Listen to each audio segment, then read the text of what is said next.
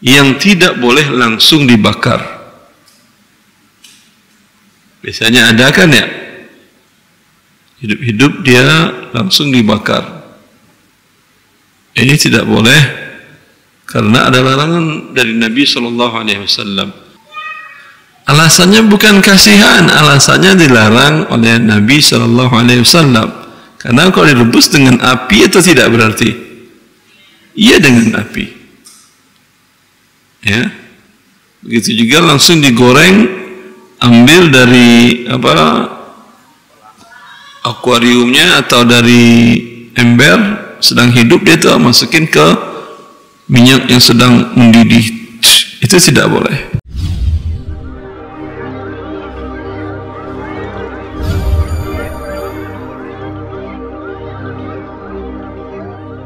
Kalau hewan air yang boleh dimakan ya yang dia hidup di air saja itu tidak bangkai walaupun matinya tidak disembelih ya walau tidak disembelih matinya anda ambil kemudian anda taruh aja di ember sampai mati dia atau anda ketok kepalanya Misalnya ibu diapain ibu? Kalau lelenya masih hidup diapain? Tok kepalanya. Ya. Insya Allah hati-hati antum bapak. lelenya diketok sama ibu kepalanya. ya. Ya. Tidak ada masalah diketok kepalanya atau dibiarkan dia sampai mati sendiri pun nggak ada masalah. Ya. Atau langsung dipotong-potong badannya pun tidak ada masalah boleh yang tidak boleh langsung dibakar. Biasanya ada kan ya? Hidup-hidup dia langsung dibakar.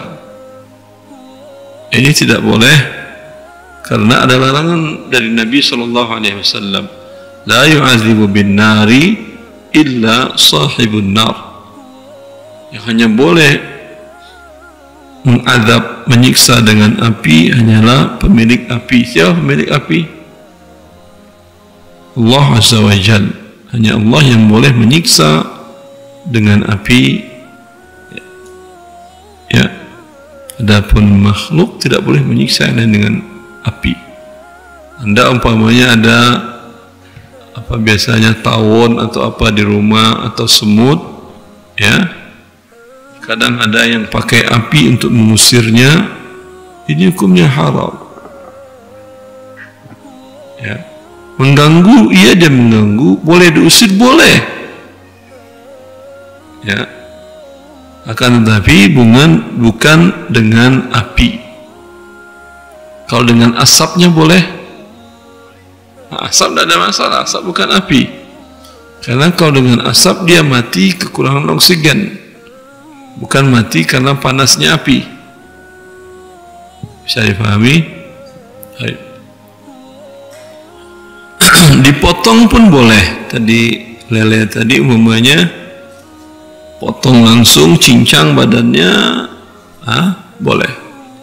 Kalau langsung digoreng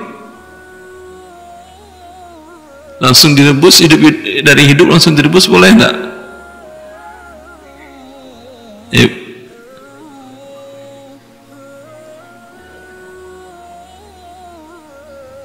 Kenapa ibu-ibu?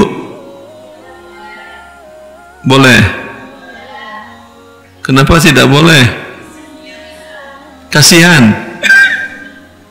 Nah, tadi sapi boleh disembelih. Tidak kasihan. Alasannya bukan kasihan, alasannya dilarang oleh Nabi Shallallahu Alaihi Wasallam. Karena kalau direbus dengan api itu tidak berarti Iya dengan api. Ya. Begitu juga langsung digoreng, ambil dari apa akuariumnya atau dari ember sedang hidup dia tuh masukin ke minyak yang sedang mendidih. Itu tidak boleh. Itu yang boleh mengadab dengan itu hanya Allah. Azab ketika orang-orang penduduk neraka semoga Allah jauhkan kita dari neraka. Mereka minta minum diberikan oleh Allah. Minuman bukan lagi minyak panas tetapi cairan dari tembaga. Semoga Allah selamatkan kita dari api neraka jelas? Allah